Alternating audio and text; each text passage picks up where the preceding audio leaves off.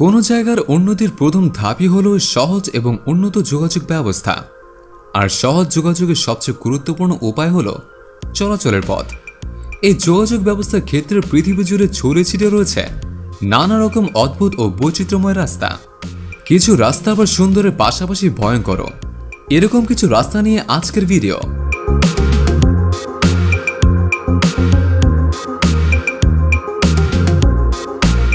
Number one Lombard street শুরু করছি পৃথিবীর সবচেয়ে বক্রাকৃতির রাস্তা দিয়ে। এটি যুক্তরাষ্ট্রের ক্যালিফোর্নিয়া অঙ্গরাজ্যের সান ফ্রান্সিসকোতে অবস্থিত।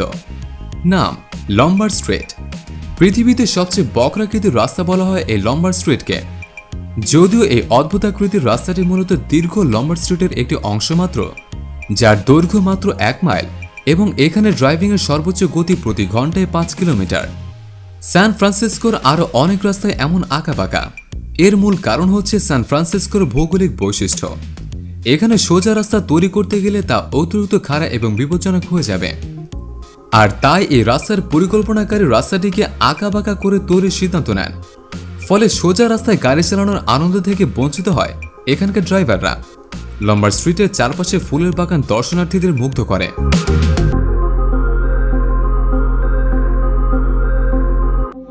Number two, umbrella street. নামটাই কি অদ্ভুত। আমব্রেলা স্ট্রিট অর্থাৎ ছাতার রাস্তা। এখানে প্রচুর বৃষ্টি হয়, তাই পুরো রাস্তায় ছাতার ব্যবস্থা করেছে কর্তৃপক্ষ। এটা ভাবার কোনো কারণ নেই। আবার খুব রোদের কারণে এই ব্যবস্থা তাও কিন্তু নয়।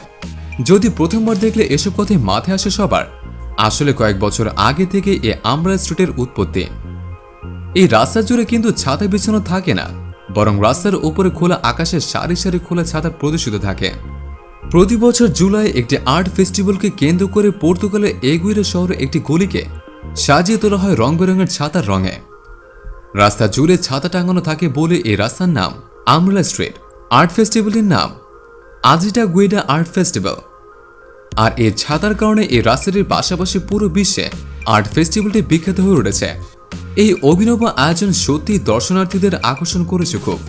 পৃথিবীর নানা প্রান্ত থেকে জুলাই মাসে এই ফেস্টিভ্যালে অংশ নিতে মানুষজন আসে এই রাস্তার সৌন্দর্যকে কেন্দ্র করে অনেক চলচ্চিত্র ও গানের শুটিং হয়েছে।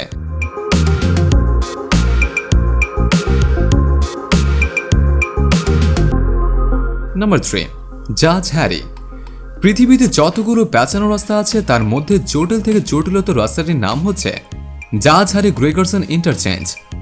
ওপর থেকে দেখতে অবিকল মনে হবে কোনো বিষাক্ত সাপ, কিংবা অনেকগুলো প্যাঁচানো সাপ একত্রে।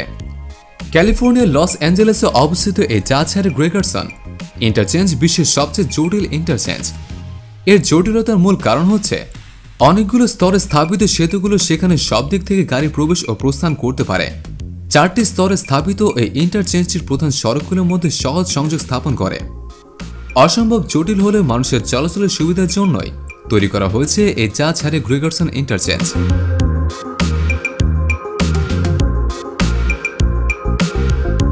number four pink street pink অনেকেরই পছন্দের একটি রং। বিশেষ করে মেয়েরা পিঙ্ক খুবই পছন্দ করে। একবার ভাবুন তো পিঙ্ক কালার দিয়ে যদি একটা শহরের অংশ পুরো পেন্ট করা যায়, তাহলে কেমন হবে? এমন একটা জায়গায় গেলে মন ভালো না হয়ে পারে? সমুদ্র তীরবর্তী লিসবন শহরের পিঙ্ক স্ট্রিট নামক এলাকার রাস্তা আর অলিগুলি সব ঝলমলে পিঙ্ক রঙের। এছাড়াও এর দুই পাশের ফুটপাতে রয়েছে খোলামেলা আর্ট গ্যালারি সমুদ্র তীরবর্তী হওয়ায় ট্যুরিস্টদের উপস্থিতি ছাড়াও এখানে রয়েছে অসংখ্য নাইট ক্লাব এবং এর ফলে লিসবনের নৈশ জীবনের কেন্দ্রস্থলে পরিণত হয়েছে pink street the New York টাইমসে একে ইউরোপের সবচেয়ে পছন্দনীয় বারোটি রাস্তার মাঝে স্থান দিয়েছে। এখানে এলে মন ভালো না হয়ে উপায় নেই। এখানে হাঁটতে এবং আর্ট গ্যালারি উপভোগ করতে খুবই পছন্দ করে টুরিস্টরা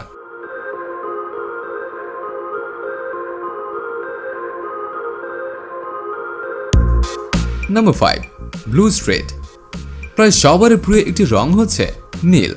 একবার ভাবুন, আপনার প্রিয় রং দিয়ে সাজানো হয়েছে পুরো একটি শহর। যে শহরের রাস্তা থেকে শুরু করে সবকিছুই নীল। যেন এক আকাশ নীল ধারণ করেছে শহরে। কেমন হবে? দারুণ না? আটলান্টিক সাগর পারে অবস্থিত আফ্রিকার ছোট্ট সুন্দর দেশ মরক্কো। মরক্কোর উত্তর পূর্বাঞ্চলে অবস্থিত শেপ সমান এমন একটি নীল শহর। একে বলা হয় জাদুময় শহর, যা ব্লু পার্ল অফ মরক্কো। আর এ ব্লু সিটি এই শহরটি পুরোপুরি নীল রঙে আচ্ছাদিত।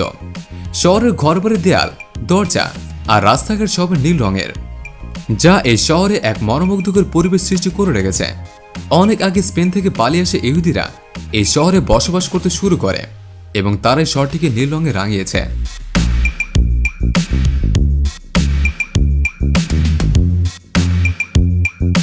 Number six death road death road মানে মৃত্যুপথ যে পথে মৃত্যু অবধারিত।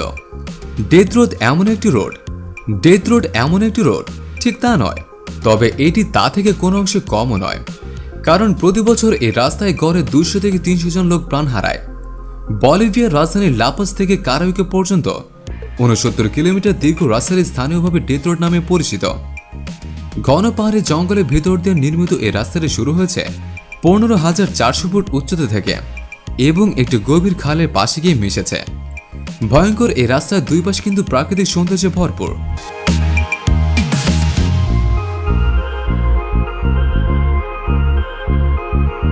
Number seven the Julius street ফ্রান্সের প্রশস্ত রাস্তার কথা সবাই জানে।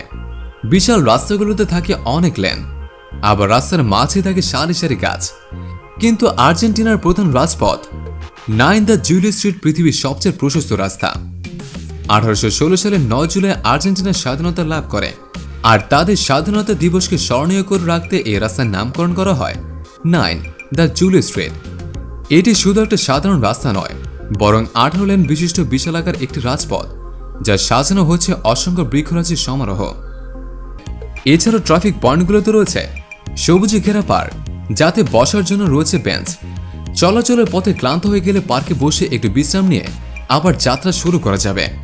টুরিস্টরাও এখানে আসতে পছন্দ করে। তো বন্ধুরা, এই ছিল আজকের ভিডিও আশা করছি আজকের ভিডিওটি ভালো লেগেছে। আর যদি ভালো লেগে থাকে, তাহলে অবশ্যই লাইক কমেন্ট আর শেয়ার করতে ভুলবেন না। এছাড়াও বন্ধুরা, যদি আপনারা চ্যানেলে নতুন হয়ে থাকেন, তাহলে অবশ্যই চ্যানেলটি সাবস্ক্রাইব করে পাশে থাকে বেল আইকনে ক্লিক করুন। তো বন্ধুরা, আজ এ পর্যন্তই। দেখা হচ্ছে নতুন কোনো ভিডিওতে ততক্ষণ সুস্থ থাকুন, ভালো থাকুন। এবং আমাদের চ্যানেলের সাথেই থাকুন। Thank